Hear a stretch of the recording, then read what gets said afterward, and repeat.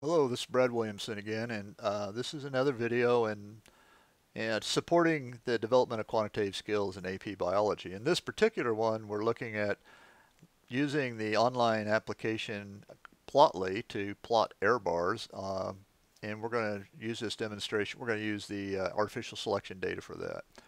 And uh, well, let's go grab some data first. So here is the spreadsheet that we've been using. Uh, if you've seen in any other video on this.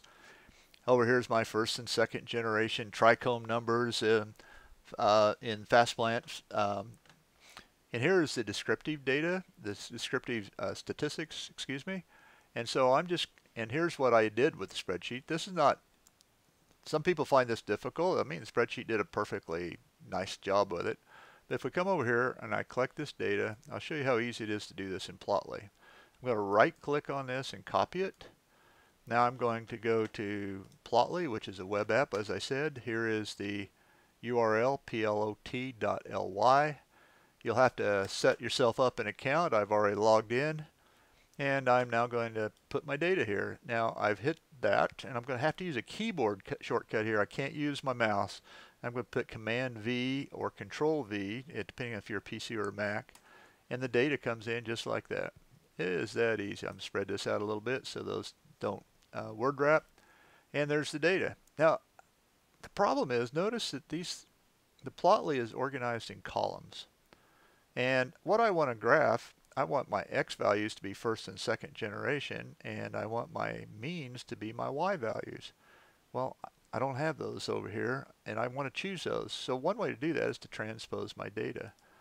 And when you transpose your data, your rows will become columns, your columns become rows, boom, just like that. And now I can come in here and say, okay, let's make a plot. Let's make a, a line plot. And for my x value, I'm just going to click right there. I got these values. For my y value, I'm going to do the mean.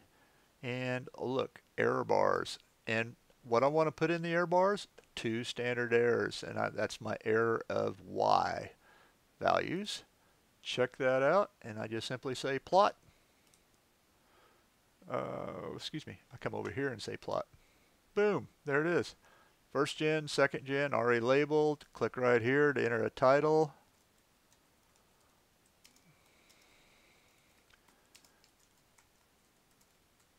And over here, an axis label. Right, let's see here. There we go. And I could I could put an x-axis label on here, but I'm not going to. There's other things you can do. You can make these larger. Oh, did you see that? You see that? This is actually an interactive graph. You can actually put this on a web page if you want, and it'll still be interactive. But if you just want to take a picture of it, you like it the way it is right now, I don't, but I'm not going to take time to fix it. You just come right up here and download a picture of it. Takes a picture, and I now have it here on my um, on my desktop, ready to go. And that's how you go. That's how you use Plotly. Hope that works for you.